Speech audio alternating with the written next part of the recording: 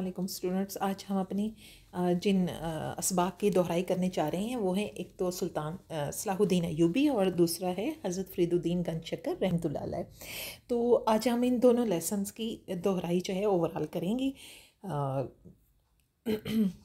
सलाहुद्दीन अयूबी जो थे वो कैसे इंसान थे? अभी देखो सलाहुद्दीन अयूबी का असल नाम तो यूसुफ था और वो आ,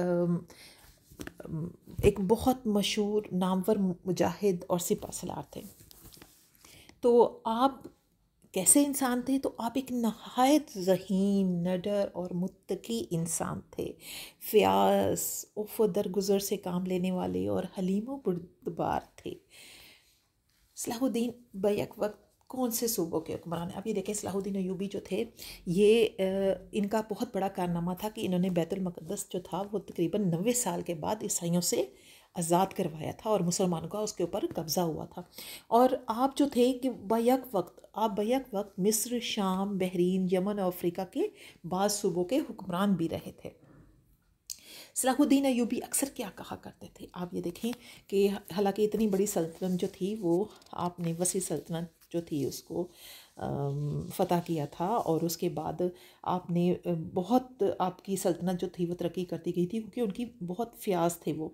तो आप ये फरमाया करते थे कि फ़याज़ी से मुझे राहत मिलती है और ये मालो ज़र जो है ये मेरा नहीं है, ये लोगों की, वो जो मुस्तक लोग हैं उनकी अमानत है।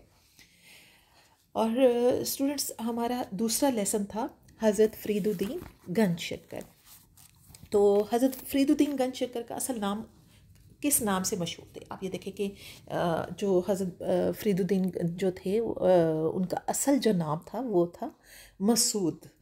और लोग जो थे, आपका चूँकि मशहूर लकब गंज शक्कर था तो आप इसी नाम से भी बहुत मशहूर थे, लेकिन जो लोग आपके अकीदतमंद थे, वो अक्सरियत जो है, उनकी आपको बाबा फरीद के नाम से याद करते हैं। आपके हज़रत मोइनुद्दीन रहमतुल्लाह का आपके बारे में फरमान किया था। यानी कि जो आपके उस्ताद थे, आपके उस्ताद हज़रत ख्वाजा बख्तियार, कुतुबुद्दीन बख्तियार काकी रहमतुल्लाह थे, जिनकी आपने बैत की थी और आप उनके मुरीद बन गए थे। तो उनके भी जो आगे उस्ताद थे, जो उनके मुर्शद थे, उन्होंने आपके बारे में फ़रमाया था कि ये एक ऐसी शमा है जिससे खानवादा दरवेशा मुनवर हो जाएगा। और आपके लिए उन्होंने दुआ भी फरमाई थी। हज़रत फ़रीदुद्दीन रहमतुल्लाह की तालीमत। आप ये देखें कि जितने भी वली अल्लाह और जितने भी अम्बिया कराम ओलिया कराम आते रहे उन्होंने अल्लाह ताला की वहदानियत की और नबी पाक वसल्लम की सुन्नत की तो तालीम थी, वो हमेशा लोगों को दी। तो हज़रत फ़रीदुद्दीन गंज शकर ने भी अल्लाह की इबादत और नबी करीम सल्लल्लाहु अलैहि वसल्लम के तरीके की पैरवी करने का लोगों को कहा। और इसके अलावा आपने इंसानियत से मोहब्बत और समाजी भलाई का भी सबक दिया।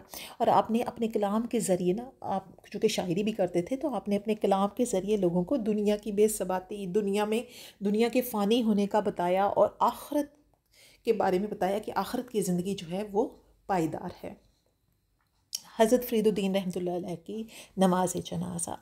आपकी वफ़ात जो थी वो पाँच मुहर्रम हराम को हुई थी और आपकी उम्र उस वक्त पचानवे साल थी और आपकी नमाज़ जनाजा जो थी वो मौलाना बदरुद्दीन सहाक ने पढ़ाई थी और आपकी ज़िंदगी जो है बुज़ुर्गान दीन ज़ाहिर है। हमारे लिए एक मशल राह है ताकि हम इस पर चल कर अपनी दुनिया और आखरत जो है उसमें कामयाबी हासिल कर सके। तो स्टूडेंट्स ये आपका ओवरऑल दोनों लेसन्स की दोहराई थी जो मैंने आपको करवाई और आपने लेसन्स को इसबाब को दोनों को दोबारा से फिर खुद भी रीड करना है, उसको पढ़ना है और फिर आपने वो जो वर्कशीट आपको दी जाएगी, आपने उसको सॉल्व करना है। तब तक के लिए अल्लाह हाफिज़।